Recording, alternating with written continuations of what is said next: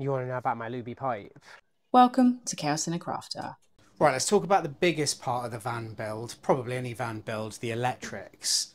Now, I'm going to start off with a kind of big scary figure, which is I've gone for an unbelievably big and complicated electrical system in the van. Um, so I will show you on the on the screen how much this has cost us so far, but it is a lot. I went to a system builder. There are lots of them out there. Uh, Nohma, Vunkt, uh, probably some more that I will again flash up on screen to let you know who's out there. But what they do is they are specialists in campervan electrical systems and they will take your specification, what you're looking to do and where you're looking to go, and then they will take that and transform it into a pile of electrical components for you.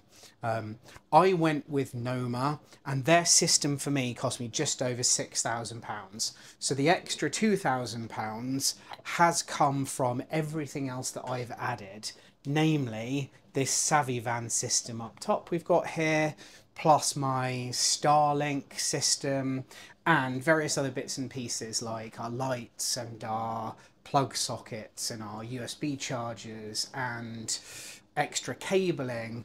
Um, that is one downside to these system designers is they don't know exactly every single possible appliance you've got so they give you a, a, good starting point for things like wiring, but they don't give you everything. Now, Vunkt are quite good because if you go onto their website, they have a system builder, system designer, which you can put in how many days you want to be off grid, you can stick in what appliances you want to run, whether or not you want to be electric hookup, or, or um, whether or not you've got solar panels, if so, how much you've got, and they can you can sort of play with that and get an idea. This is the full list of products that Nohma sent to me. Now, I chose Nohma because their instructions were some of the absolute best. The detail they went into was fantastic. They went system by system and showed you how everything needs to be pulled together, which for a novice was exceptional and was definitely worth the extra few hundred pounds my system cost. So let's have a little talk about what we've actually got here. Um, you'll see most of, by, by the colouring, most of the blue, the Victron stuff here. Victron is the best stuff on the market. Um, it is also the most expensive, so read from that what you will. Whether or not it's worth it, I will leave that up to you. So whether or not you want to pay the extra over things like Renogy, um, and whether or not you want to go for different batteries. I went with Fogstar because again, they were one of the best maybe not quite as good as Victron, um, but they were considerably cheaper, but then they were better than some of the alternatives. So I went for, uh, I'll show you a picture on the screen now of what it looks like in the van because I haven't got them here, but I've gone for two 280 amp hour 24 volt batteries. So because we've gone for a 24 volt system, essentially that's the equivalent of having twice as much power as a 12 volt system in terms of battery capacity. So 280 amp hour at 24 volts would be the equivalent of 560 at 12 volts. So we've got the equivalent of 1120 amp hours of battery at 12 volts. That's not here, that's in the van already. It's the only thing I've installed other than running my wiring so far. But we have an inverter here, a 3000 watt inverter that will power everything on our AC system. So that's why we've got these consumer units here. One will take the feed from the electric hookup and coming off that one will be any appliances we want to run when we're only on electric hookup. So that will include my Truma combi boiler when we want it to run off the electrics. And then this side is will come off the inverter and this will have all our 230 volt appliances that we want to run in the van. So namely our induction hob and our plug sockets, the main things that will come off that. We've then got all sorts of different components over this side. We've got our bus bars, Lynx distributor, which is just, a, again, a fancy bus bar. We have two DC to DC converters here. So these are 24 volt to 12 volt DC converters because like I said, our system is 24 volts. We chose a 24 volt system because it could keep cabling small and a lot of these components stay smaller at 24 volts. The downside is that if you want to use 12 volts for anything, you have to convert it. So we've got two converters here to step our voltage down for our LED lights and our 12 volt systems. We've got two Orion DC to DC battery chargers. These run off the van's alternator. They'll take power from the van when the van is running and recharge our batteries. And we have two of these 50 amp chargers. And then continuing around here, we have our solar system. So this is our MPPT, this is our smart solar charger, and we've got, again, double pole MCB to shut that off. And then we have our smart shunt to monitor our batteries alongside the Victron Energy uh, five centimeter screen so that we can keep an eye on everything. Um, and again, the Cerbo is the brains of the operation as far as the Victron side is concerned.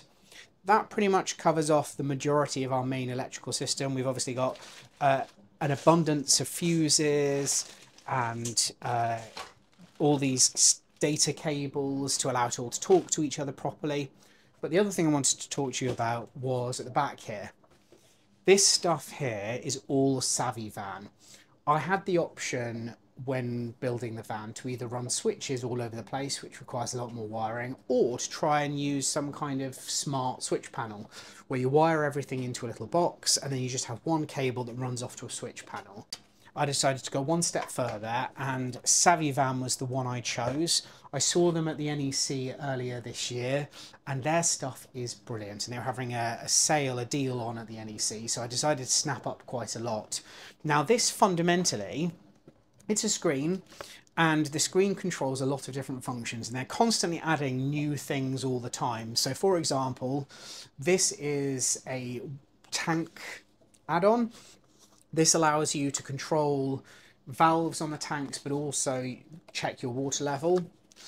This one is the Savvy Stance, so this one shows you at what angle your van is parked on to help you level it up. And the newest one is their LED driver. So this essentially takes all the feeds for your 12 volt lights and acts as a big switch panel. But it's a dimmer, dimmer switch panel and it can all be operated by this one point. And then finally, we've got the main screen itself and this can switch anything. So we've got that will take both 12 and 24 volt systems and we can run our fridge and um, and our diesel heater and anything else we want to switch through that so that covers off that. The only other thing to add in is this is our Starlink. Um, so because Starlink has a regular 230 volt plug, which runs off to uh, 48 volts, I believe it is, you need something to step up your voltage to the Starlink. So again, Star, Star, Star, Star V mount these are the people I bought the actual mount that's holding the Starlink on the top of the van, but they also sell the rest of this kit, which allows you to wire it in with a little switch panel on it. I probably won't use this switch in the end. I'm probably going to wire it through the SavvyVan panel, um, but it includes a little miniature version of this DC to DC converter, but steps the voltage up from 12 volt 248 volt and that means that you then your Starlink will work through this and we don't have to worry about running it off battery power or, or anything else. Um, so that's a little breakdown of all the various components we've got here. I have run all the wiring for the van prior to insulating, prior to putting our wall panels on. It was probably only the second or third job I did. And it's really important that you plan ahead for where you want everything put your insulation on the walls, then run conduits over the top of the insulation. You want it on top of the insulation so that if there's ever a problem, when you take the wall panel off, you don't have to start ripping out insulation. You can just take the wall panel off and everything's there and visible. So conduit with all your electrics running. You want to focus on what appliances are going to be in what location in the van and bring it back to a central point for me and probably for most people that is in the garage at the back. Now my garage is especially small. Again, I'll show you a little picture of what that looks like, but uh, it's very narrow. So I'm having to squeeze everything quite low down. Um, but you run everything back to the, the garage. For me, that mostly went through the top of the van to the rear pillars, down the pillars and out. And there was a lot of stuff that came from under the van, like our DC to DC chargers and all our tank sensors and stuff. They went under the van and then back up the rear pillars and out. And then we're going to wire it all from that point there. Now, this is going to be part one of probably a three part video. The other two parts are going to be us actually building and wiring the thing. So the first thing for me to do is build my system board. So as to take all these various things and put them onto a board. Um, I've got some beautiful hex ply, which looks nice, which we'll mount it all to. And then the final video will be us then putting that into the van and wiring everything up and testing it. Later on, just after this, I'm going to show you the other two things I've done early on in the build. One is installing my electric hookup point, which is a really slimline little neat one that tucks down on the, the sills.